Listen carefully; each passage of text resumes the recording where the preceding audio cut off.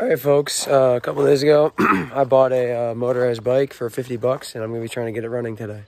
All right, so here she is. Uh, 50 bucks. Came with a bunch of extra parts, but uh, yeah. So we're gonna try and get this thing running. All right, so just quickly looking through this thing, looks like we have a Huffy um, Beach Cruiser, which is a Walmart bike. It's got a motor in it, obviously, and uh, the carb does not have a air filter on it, which I'll probably throw one on because I have a bunch of extra parts for these things. Um, somehow the fuel line doesn't seem to be leaking, which these things literally always leak, so that's pretty surprising. Fuel tank is mounted kind of jank, but it's on. And uh, yeah, the chain rolls pretty good, which is a very good sign. The clutch actually does work, which is nice. Chain and clutch are half the battle with these things.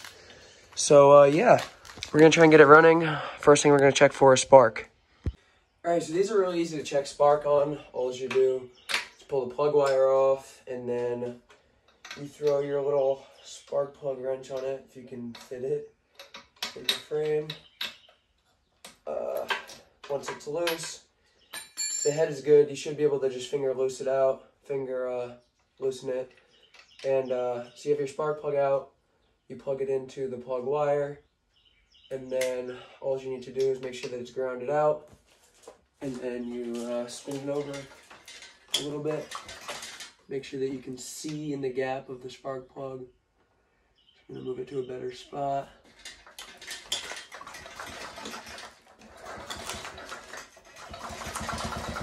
Okay, so it looks like we have spark, which is good because then uh, I know we have compression because I've rolled it a little bit and uh, has good compression.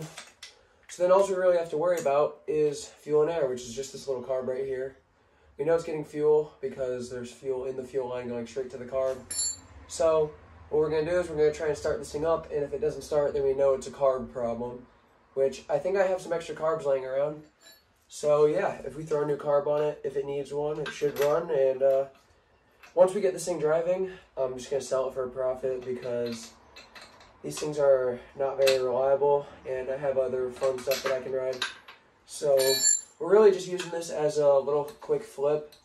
Should be pretty easy. I'll be able to get at least 200 bucks out of it if I have it running and driving good. I'm starting fluid with me, the bike, and a good old, old downhill so I can focus more on trying to start it and less on pedaling. So I'm gonna spray some starting fluid in the carb while we're moving and uh, even if we get a little pop off, that'll at least show that if we throw a carb in this thing, it'll go.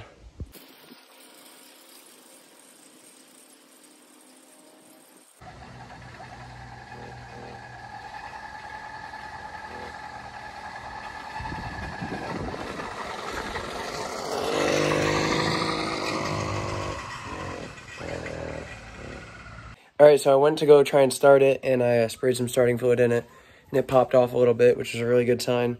So now I'm just going to run some new gas through it because maybe it's just getting bad gas. Probably spray the carb down with carb cleaner, and uh, we'll see if she starts up.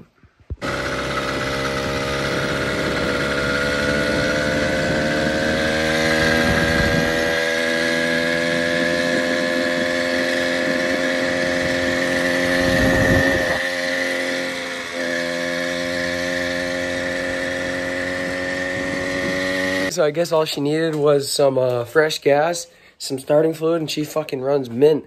This is one of the best driving motorized bikes I've ever owned, and I've probably owned around 15 to 20 now.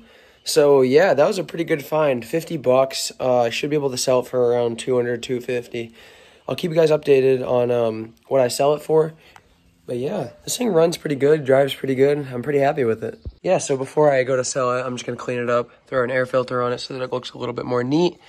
And uh, yeah, but that that's it for this thing.